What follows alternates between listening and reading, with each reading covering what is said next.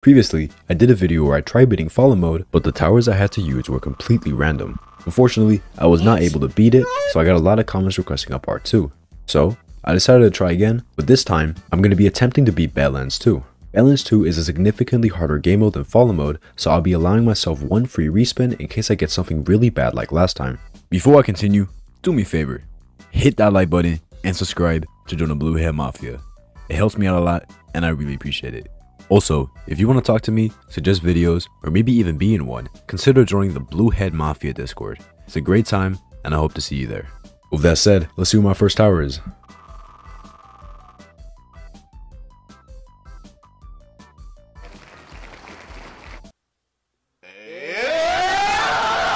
Alright, I'll take that. Let me see what my second tower is.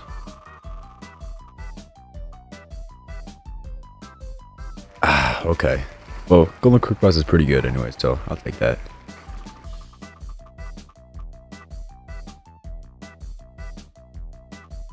Okay, that's good support.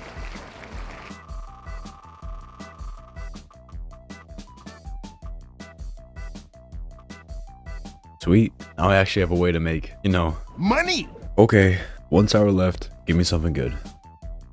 No way. Come on. Give me the DJ.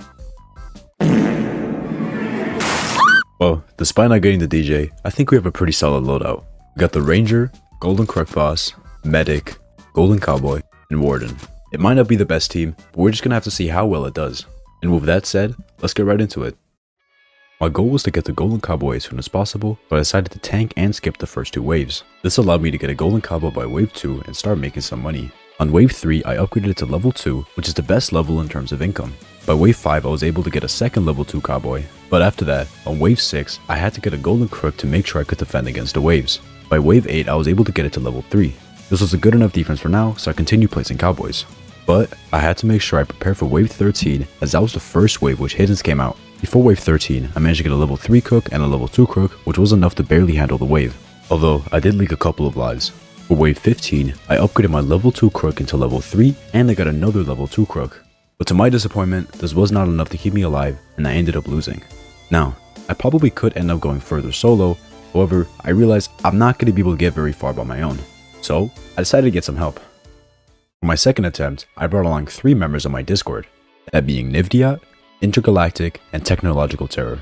We all started off pretty much the same, skipping the first two waves to be able to place a cowboy as soon as possible. We upgraded our cowboys to level 2 by the end of wave 5, and by the end of wave 9 we had gotten 2 level 2 cowboys each, or 8 cowboys total. To deal with the wave 13 hiddens, we got a level 3 golden crook, a level 2 golden crook, and Intergalactic spammed a bunch of level 1 wardens to help stun the hiddens. This worked well, and we were able to kill them all without any leaks. Wave 15, we upgraded and placed a couple of more crooks, which was actually enough to beat this wave, allowing us to get past my previous solo record. After this wave, we continued to place level 2 cowboys as we needed to maximize the amount of profit we could make. However, we had to make sure we prepare for wave 20, which was the first wave with Fallens. Fallens are extremely fast and high health enemies, which can often be a huge problem to deal with. Luckily, the extra defense we got from our cowboys allowed us to just barely beat this wave, as well as a subsequent wave 21, which we were able to beat by getting some extra crook bosses and upgrading some wardens to level 3.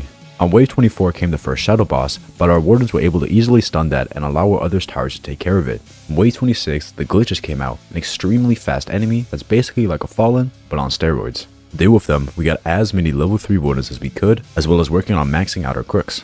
While it was close, we did manage to beat them, as well as on wave 27 where there's even more glitches. Now, on wave 30 came one of the hardest enemies in the game, the tank. The tank is an extremely fast, high health enemy, putting over 6000 HP. While normally this would be a big issue to deal with, the Warden is able to fully stun it, making it not that big of a deal. So despite this wave having 3 different tanks, we were able to beat it with a combination of Wardens and Crook bosses.